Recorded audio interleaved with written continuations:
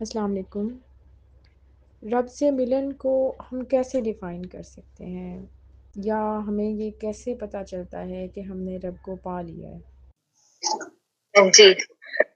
رب کے ملنے کو کیسے ڈیفائن کر سکتے ہیں؟ کس چیز کے حاصل ہونے کے بعد انسان یہ کہہ سکتا ہے کہ اس نے رب کو پا لیا۔ اللہ اکبر۔ اچھا یہ رب سے جو ملنا ہے رب سے ملن میں نے رب کو پا لیا یہ ہمیں کب پتہ چلتا ہے؟ یہ میں آپ سے پوچھوں آپ میں سے کوئی بتائے گا؟ پھر میں بتاؤں گی آپ کو۔ آپ میں سے کوئی اپنی رائے دینا چاہے بڑا پیارا سوال ہے یہ۔ ہر بندے کو کوئی نہ کوئی اس کی سمجھ ہوتی ہے۔ جی عائشہ۔ جی کچھ بھائی تھوڑا سا یہ کہ جب آپ کے اندر اللہ کی صفات آنا شروع ہو جاتی ہیں ہاں، ہاں۔ تو یہ ایک بہت بڑی کی ہوتی ہے کہ یو نو اور آپ کا جب دل جاری ہوتا ہے تو جب دل میں ہر وقت کوئی سمپل سی بات اگر سارے بات کی کہیں کہ یہی ہے کہ دل یار وال تے ہاتھ کار وال کہ ہر وقت دل میں اللہ کی یاد ہو اور آپ اپنی ساری ذمہ داریوں کو بھی بخوبی انجام دے رہے ہوں بغیر چون چڑا کیے اللہ کا شکر ادا کرتے ہوئے الحمد للہ اللہ کی رضا کی خاطر اپنی نیت کی درستگی کے ساتھ۔ اگر آپ کی نیت درست ہے تو اس کا مطلب ہے کہ آپ نے رب کو پا لیا ہے۔ اور اس کی صفات آپ میں آنا شروع ہو گئی ہیں جیسے غصہ نہ کرنا رحم دلی کرنا لوگوں کو معاف کرنا جو بھی ساری ہیں اللہ کے ناموں کی جو صفات ہیں ماشاء اللہ سے سبھی۔ جی مجھے تھوڑا سا جو پرسنل میرا ایکسپیرینس ہے اس کو میں شیئر کروں گی کہ جب آپ کو اپنی غلطیوں کا ادراک ہونا شروع ہو جاتا ہے اور جب آپ کے اندر سے جب جیسے ہی کچھ آپ غلط کرتے ہیں آپ کو فوراً اس کی پنشمنٹ بھی مل جاتی ہے۔ اور پھر آپ کو دم سے پتہ چلتا ہے کہ یہاں غلطی ہوئی تھی اور اس کی وجہ سے یہ ہوا ہے۔ تو مجھے تو ایسا احساس ہوتا ہے کہ جیسے میں اپنے ہسبینڈ سے بھی یہی کہتی مجھے لگتا ہے اللہ جی خود میری ٹیچر بن گئے ماشاء اللہ جب یہ گوشہ نور سے ایک تعلق ہوا ہے یہ پہلے بھی ہوتا تھا پتہ بھی چلتا تھا دل آپ کو بتاتا بھی تھا کہ آپ یہاں یہاں غلط ہیں۔ لیکن جو ہماری تربیت ہوئی ہے نا جو یہ آپ کے ساتھ تربیتی نشستیں ہوئی ہیں تصوف کورس جو ہم نے کیا ہے اس سے یہ ہوا ہے کہ اندر سے آواز آنے لگ پڑی ہے۔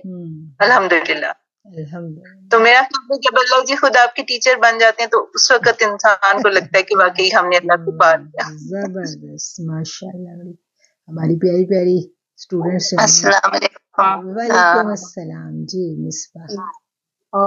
میں وہ بتانا چاہتی جب عبادت میں لذت آنا شروع ہو جاتی ہے۔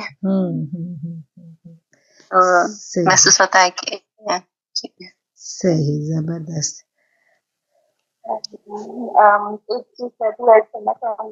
جی جی۔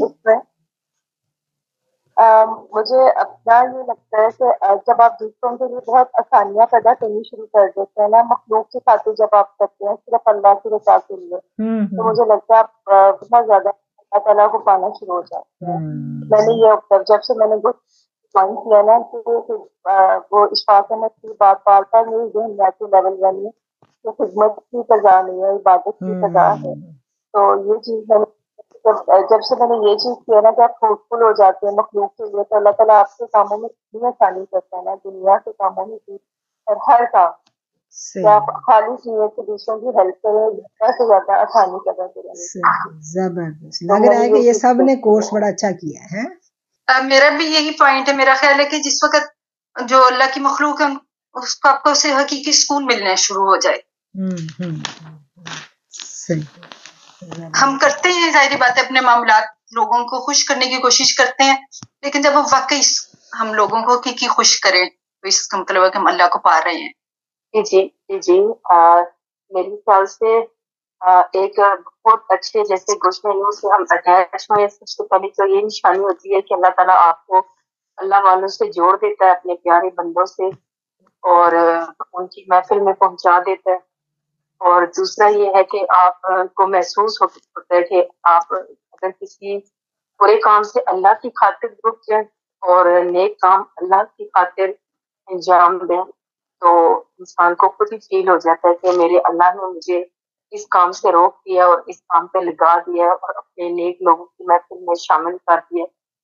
تو شاید آئی جب سے گوشت سے اٹیچ ہوئے تو اس چیز کا بہت زیادہ تجربہ ہوا۔ ہے پہلے لیکن اتنا نہیں تھا جب سے سب پوسٹ شروع کیا نا تو بہت زیادہ اس چیز کا تجربہ ہوا ہے کافی تو صحیح زبردست زبردست۔ باجی میں تو یہ کہوں گی کہ جب ترجیحات میں اللہ تعالیٰ نمبر ون پہ آ جائے نا کہ باقی ساری دنیا کی چیزیں پیچھے رہ جائیں اور اللہ تعالیٰ نمبر ون پہ ہونا تو پھر انسان جو ہے وہ میرا خیال ہے اللہ تعالیٰ پانے والا رب کو پانے کا جو ہے نا۔ زبردست زبردست۔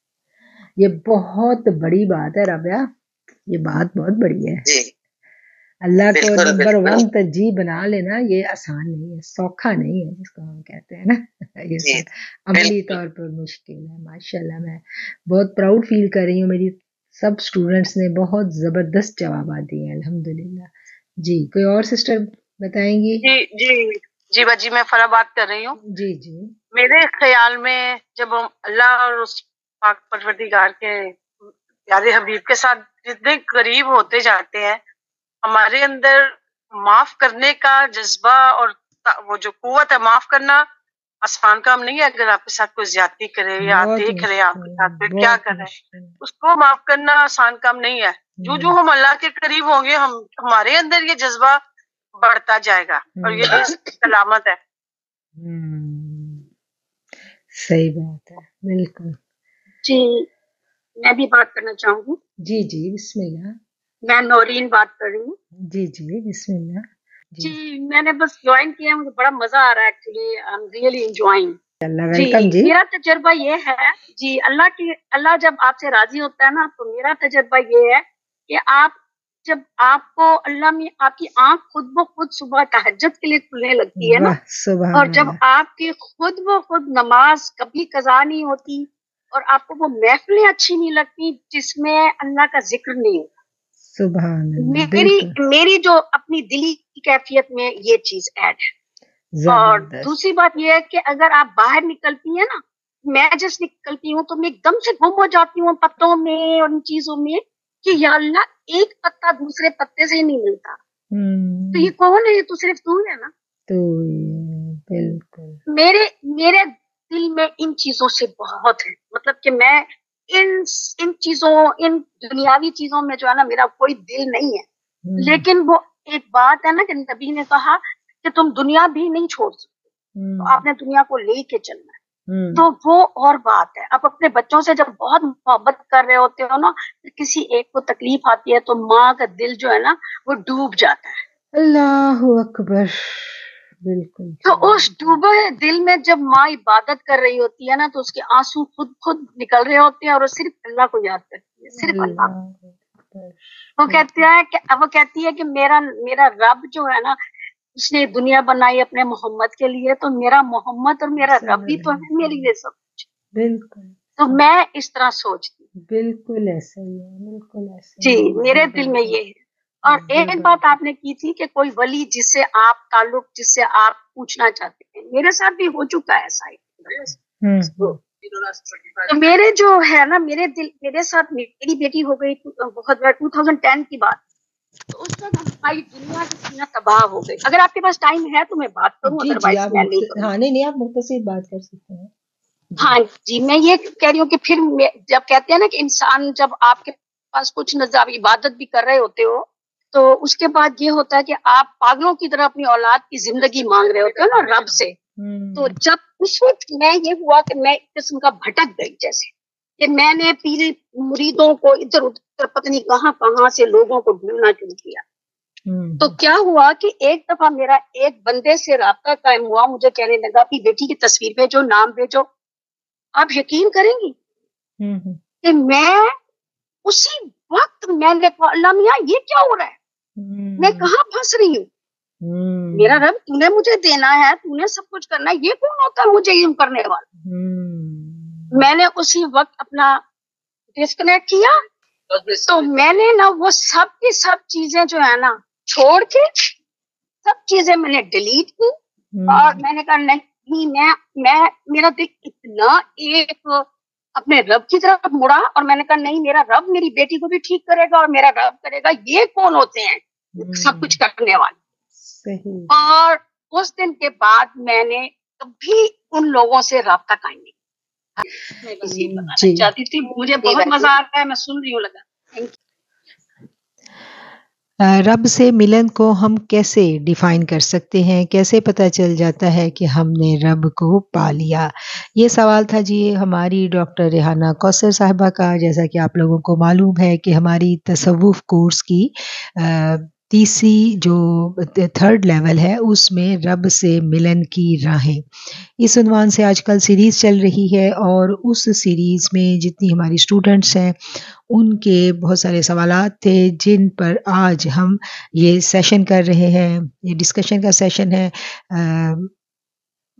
جو رب ہے وہ کہیں دور تھوڑا ہی ہوتا ہے، وہ تو ہمارے ساتھ ہی ہوتا ہے، وہ تو ہمارے اندر ہی ہوتا ہے، اور کسی لمحے بھی ہمیں نہیں چھوڑتا، ہم اس سے غافل ہوتے ہیں، اور رب سے ملن کی راہوں میں ہم وہ سارے طریقے، وہ سارے کلو وہ ساری جو باریک باریک راز ہیں، ہم ان کو جاننے کی کوشش کر رہے ہیں کہ اگر رب ہمارے اندر ہے تو پھر ہمیں دکھائی کیوں نہیں دیتا، ہم اس کو محسوس کیوں نہیں کر پاتے، اور الحمد للہ جن اسٹوڈنٹس نے بہت اچھے طریقے سے اپنا اپنا تجربہ بیان کیا جب انہوں کو لگا، جب ان سب کو لگا کہ ہم نے رب کو پا لیا ہے، ہم نے رب کو محسوس کر لیا ہے، رب کو پھر میں وہی بات عرض کروں گی کہ رب کہیں دور نہیں ہے، رب ہمارے اندر ہی ہے۔ ہم نے اندر ہی سے اس کو ڈھونڈنا ہوتا ہے، اس کو محسوس کرنا ہوتا ہے اور اس کی پکار کو سننا ہوتا ہے۔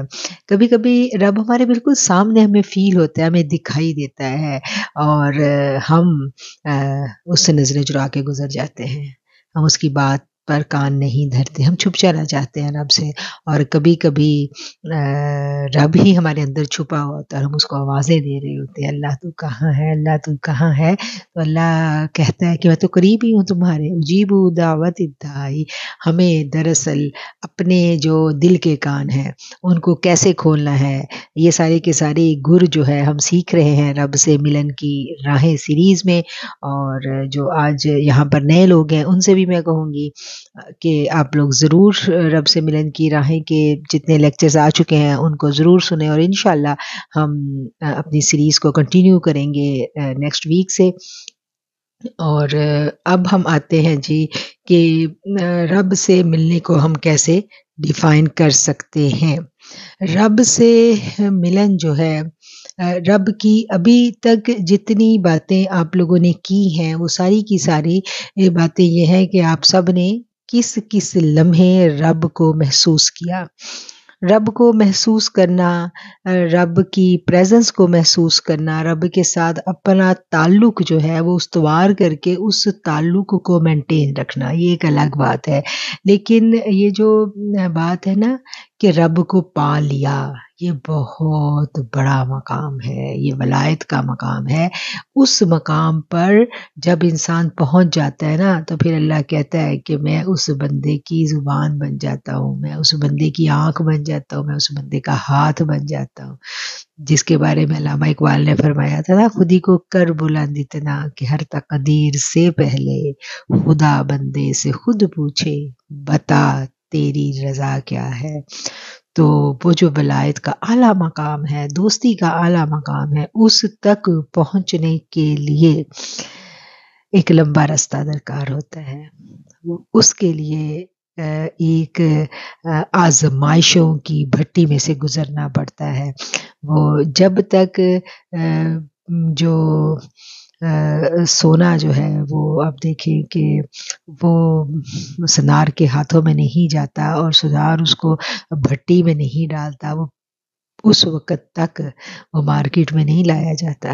تو اس کی قیمت اسی وقت لگتی ہے جب وہ اپنی اصلیت کھو کے خوبصورت ڈیزائنوں میں تراش کے پبلک کے سامنے پیش کیا جاتا ہے۔ تو اسی طرح جب رب کسی کو اپنی دوستی کے لیے چن لیتا ہے اللہ ولی الذین آمنو۔ جب رب چن لیتا ہے کسی کو اپنی دوستی کے لیے، تو پھر اس بندے کو اس بندے کو ایک پورے کی پوری غیر محسوس طریقے سے تربیت کے مختلف مراحل سے گزارا جاتا ہے۔ اور وہ مراحل جو ہیں وہ آسان نہیں ہوتے، وہ مشکل ترین رستے ہوتے ہیں۔ ہم، سیدنا ابراہیم جو ہمارے باپ ہیں آقا علیہ السلاۃ وسلام کی جو ہماری جو حیات مبارکہ ہے۔ نبی کریم صلی اللہ علیہ وسلم کی ہم حیات دیکھ لیں، حضرت سیدنا ابراہیم کی ہم حیات دیکھ لیں پیغمبروں کی ہم حیات دیکھ لیں۔ کسی کی بھی زندگی میں ہم جھانک کے دیکھیں تو وہاں پر سخت ترین مشکلات کا دور آیا سخت ترین مشکلات کا بی بی حاجرہ جن کے قدموں کے نشانوں پر رہتی دنیا تک، جب تک حج ہوگا، سب کو بھاگنے کا کہا گیا اور ان کے قدموں کے نشانوں پر جو بھاگے گا نہیں نا اس کا حج قبول نہیں ہے بھاگنا ہی بھاگنا تو وہ اس مقام تک کیسے پہنچی؟ گھر بیٹھے تھوڑا ہی پہنچ گئی تھی۔ بڑی آزمائش کی چکی سے ان کو گزرنا پڑا تھا۔ وہ لمحے ہم سب نے پڑھے ہوئے ہیں کہ جن امتحانوں سے، جن لمحات سے گزر کے ان کو یہ مقام ملا۔ حضرت سید ابراہیم، جن کا اتنا مقام ہے، جن جن پر ہم ہر نماز میں درود بھیجتے ہیں اور جن پر جو تمام جتنے بھی مذاہب ان کے بعد آئے، وہ سب ان کو مانتے ہیں۔ اور جن کا مرتبہ مقام ہم جانتے، جان لینے کے بعد جب ہم ان کی حیات کو جاننے کی کوشش کرتے ہیں تو ہمیں پتہ چلتا ہے کہ ان کی زندگی میں کتنی مشکلات تھیں، کتنی مشکلات تھیں۔ اور وہ سیدنا ابراہیم جب آگ میں جا رہے تھے تو فرشتہ آیا تھا کہ میں آپ کی مدد کروں۔ تو انہوں نے کیا کہا تھا؟ انہوں نے کہا تھا، حسبنا اللہ و نعم الوکیل۔ کہ کیا میرا، انہوں نے پوچھا تھا کہ کیا میرا ابو مجھے نہیں دیکھ رہا دیکھ رہا ہے نا؟ تو بس پھر وہی میرے لیے کافی ہے۔ جب یہ کیفیت آ جائے، جب یہ کیفیت آ جائے تو پھر رب اکھیوں کے سامنے دکھائی دینے لگتا ہے، پھر ساری دنیا ایک طرف اور میں اور میرا رب ایک طرف، پھر وہ کیفیت آ جاتی ہے۔ تو وہی کیفیت ہوتی ہے کہ جس کو ہم یہ سمجھتے ہیں، یہ تصوف اور سلوک میں جس کو مقام ولایت کہا جاتا ہے، تو وہ مقام ولایت اسی وقت نصیب ہوتا ہے۔ جب آپ ایک کٹھن اور دشوار گزار رستہ صبر کے ساتھ گزار چکے ہوتے ہیں۔ اب ہمیں پتہ چلتا ہے کہ واقعتاً ہم نے رب کو پا لیا۔ تو وہ لمحہ ہوتا ہے کہ جب ہمیں اتنی مار پڑتی ہے، اتنے ہم آزمائش میں پس جاتے ہیں، سخت ترین حالات ہوتے ہیں۔ ٹھیک ہے نا؟ سارے رستے بند ہوتے ہیں، سارے رستے بند ہو جاتے ہیں۔ میرے بزرگ فرمایا کرتے تھے کہ جب تک سارے رستے بند نہ ہوں، اس وقت تک سارے، جب تک دروازے بند نہ نہ اس وقت تک اس کا دروازہ نہیں کھلتا، اس کا دیدار نہیں ہوتا۔ سارا، سب کچھ ختم ہو جاتا ہے۔ اور انسان کی تکلیف اور جو پین ہے نا، وہ بھی عروج پہ ہوتی ہے۔ کچھ نہیں ہوتا۔ کچھ نہیں ہوتا۔ اور اس کی دعائیں بھی قبول نہیں ہو رہی ہوتی۔ وہ رو رہا ہوتا ہے، بلک رہا ہوتا ہے۔ اور دعا بھی قبول نہیں ہو رہی ہوتی۔ اور اس پیک پہ جا کے جب دعا بھی قبول نہیں ہو رہی اور تکلیف بھی دور نہیں ہو رہی اور ارد گرد میں سب نے پتھر ہاتھ میں اٹھائے ہوئے آپ کو مارنے کے لیے، اور پھر پھر جو آپ رب کے آگے تنہائی میں اسی یقین کے ساتھ جھکتے ہو، اسی یعنی یقین کی جو قوت اور شدت آپ کے اوپر غالب ہوتی ہے اور آپ سجدے میں اللہ کے قدموں کے اوپر اپنا سر رکھتے اور آپ کو پتہ چل رہا ہے کہ کوئی دعا نہیں سنی جا رہی، لیکن پھر بھی آپ کو پتہ ہے کہ دروازہ یہی کھلنا ہے۔ وہ لمحہ ہوتا ہے کہ جب آپ قبول کر لیے جاتے ہو۔ ورنہ اس لمحے پر آ کر بڑے بڑوں کی بس ہو جاتی ہے۔ بڑے بڑے جو ہے نا، ادھر سے کوئی آواز کان میں پڑتی ہے، ادھر سے کان میں پڑتی ہے، اس کے پاس چلی جاؤ، ادھر چلی جاؤ، ادھر چلی جاؤ، بڑے آپ کو رستے دکھائی دیتے ہیں اور آپ چلتے بھی ہو، کیونکہ آپ کو تو اس وقت اپنی وہ مصیبت، وہ پین دور کرنی ہوتی ہے۔ آپ جس ازمائش میں ہوتے ہیں، آپ اس سے نکلنا ہوتا ہے، آپ بھاگتے بھی ہو۔ اور، لیکن کام آپ کا نہیں ہوتا۔ پین بڑھتی جا رہی ہے، ناسور اندر ہی اندر بڑھتا جا رہا ہے۔ بس پھر وہ اس وقت اگر آپ ثابت قدم رہ گئے اور آپ نے کہا نہیں، رب یہیں سے ملے گا، یہیں سے ملے گا۔ بس سو دفعہ بھی وہ ایک شخص تھا نا، وہ تو آف کر رہا تھا تو وہ کہتا تھا لبیک، آواز آتی تھی لال لبیک۔ پھر وہ کہتا تھا لبئی وہ کہتا تھا، آواز آتی تھی لا لبئی وہ کہتا تھا، اللہ میں حاضر ہوں، اللہ کہتا تھا، نہیں نہیں قبول نہیں قبول۔ اور وہ سکون سے کہتا ہوا تو آف کرتا جا رہا تھا۔ تو پھر ایک بزرگ وہاں موجود تھے، وہ یہ سب کچھ دیکھ رہے تھے۔ انہوں نے کہا، تمہیں پتہ اللہ نہیں سن رہا، تو بس تم چپ کرو نا۔ اس نے کہا، میں کیوں چپ کروں؟ سننا تو اسی نے ہے۔ حاضری کو قبول اسی نے کرنا ہے۔ تو جب اتنی ساری کیا کہنا چاہیے؟ بند دروازوں کے پیچھے بھی آپ کے قدم پیچھے نہ ہٹیں۔ تو پھر سمجھ لیں کہ آپ نے رب کو پا دیا۔ ہے اور جب تک قدم لڑکھڑا رہے ہیں، کبھی پیچھے، کبھی آگے، یہ چل رہا ہے، تب تک پایا نہیں ہے۔ ابھی محنت کی ضرورت ہے۔ وہ قرآن کی آیات یاد کر لیں۔ جب اللہ نے کہا تھا نا کہ متا نصر اللہ یاد ہے نا وہ آیات آپ نے سب نے پڑھی ہوں گی کہ ہلا مارے گئے۔ اللہ لوگوں اللہ نے جب ازمائشیں آ رہی تھیں غزوہ صاحب کے موقع پر وہ آیات نازل ہوئی تھی نا، تو پھر اللہ نے کہا تھا کہ تم سے پہلے جو لوگ تھے وہ بھی ہلا مارے گئے تھے اور اتنے ازمائے گئے تھے کہ وقت کا پیغمبر کیا اٹھا تھا کہ متا نصر اللہ کب آئے گی اللہ کی مدد؟ تو وہ اتنی سخت ازمائش میں بھی اللہ سے اتنی ہی قوت کے ساتھ امید رکھنا، قوت اور یقین کے ساتھ امید رکھنا کہ نہیں، دروازہ اللہ کا کھلے گا، اللہ دے گا۔ دے گا اللہ۔ ڈاکٹروں نے جواب دے دیا۔ ڈاکٹروں نے کہا، نہیں ہے، کچھ نہیں ہے۔ پھر بھی کہنا، نہیں، میرا اللہ دے گا۔ تو پھر اللہ دے دیتا ہے۔ یہی وہ لمحات ہوتے ہیں جب انسان اپنی مرضی ختم کر کے رب کی رضا پر جینا سیکھ لیتا ہے۔ اور لا جو ہے اس کے اندر قائم ہو جاتا ہے۔ اس کی اپنی مرضی کچھ بھی نہیں رہتی۔ سب کچھ رب کی رضا رہ جاتا ہے اور پھر اس کو اندر باہر ہر طرف اللہ ہی اللہ نظر آتا ہے۔ اور اس زمن میں حضرت شیخ محی الدین سید عبد القادر جلانی کا وہ واقعہ کہ آپ تشریف فرماتے خان کا میں اور ایک شخص نے آ کے بتایا کہ یا شیخ، آپ کا جو مال تجارت کا جو جہاز آ رہا تھا وہ پانی میں ڈوب گیا ہے۔ آپ نے آنکھیں بند کی لمحہ بھر کو اور پھر کھولی اور کہا الحمد للہ تھوڑی دیر بعد ایک اور شخص بھاگتا ہوا آیا اور اس نے کہا کہ وہ اطلاع غلط تھی، آپ کا جہاز نہیں ڈوبا، کوئی اور جہاز ڈوبا، آپ کا جہاز سے ہی سلامت پہنچنے والا ہے۔ پھر آپ نے لمحہ بھر کو آنکھیں بند کی اور آپ نے کہا الحمد للہ تو جو لوگ موجود تھے، انہوں نے کہا کہ جب بری خبر سنی تو تب بھی آپ نے الحمد للہ کہا اور اچھی خبر پہ بھی۔ تو یہ کیا ہے نا کہ آپ کی کیفیت دونوں دفعہ میں ایک ہی رہی۔ تو آپ نے فرمایا کہ جب پہلی دفعہ میں نے بری خبر سنی، جب پہلی خبر سنی بری تھی، تو میں نے فوراً اپنے قلب پہ توجہ کی، تو میں نے اپنے قلب کو اپنے رب کی یاد میں مشغول پایا۔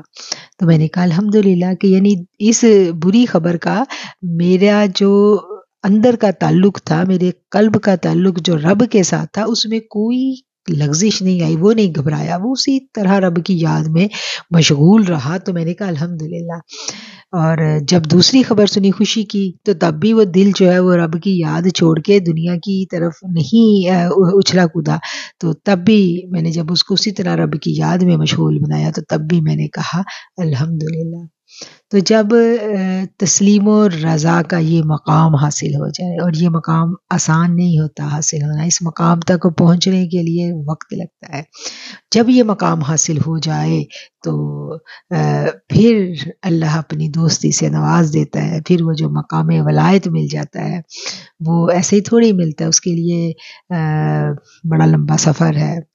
بڑی تگ و دو کرنی پڑتی ہے، بڑی محنت درکار ہوتی ہے، تربیت کے مختلف مراحل سے گزارا جاتا ہے اور پھر بنتے بنتے ایک انسان اپنی مقام ابدیت جو ہے اس تک پہنچنے میں کامیاب ہو جاتا ہے اور وہی مقام ہوتا ہے جس کو ہم کہہ سکتے ہیں۔ کہ بس جس کو وہ، جس کے، پھر ایسے لوگوں کے ساتھ اللہ اپنا نام جوڑ دیتا ہے ایسے لوگوں کو اللہ اپنے نام کے ساتھ جو ہے وہ دنیا میں متعارف کروا دیتا ہے، پھر وہ اللہ والے مشہور ہو جاتے ہیں، پھر لوگ ان سے دعائیں کروانے آتے ہیں، پھر لوگ ان ان کی زیارت کرنا جو ہے وہ پسند کرتے ہیں، لوگوں کو سکون ملتا ہے ان کی قربت میں، پھر وہ اللہ والے معاشرے میں ڈکلیئر کر دیے جاتے ہیں۔ تو بس یہی ہے رب سے ملن جس کو ہم کہتے ہیں، یہی وہ مقام ہے جب حقیقی معنوں میں ملن ہو جاتا ہے۔ تن تندور ہٹا دا بالن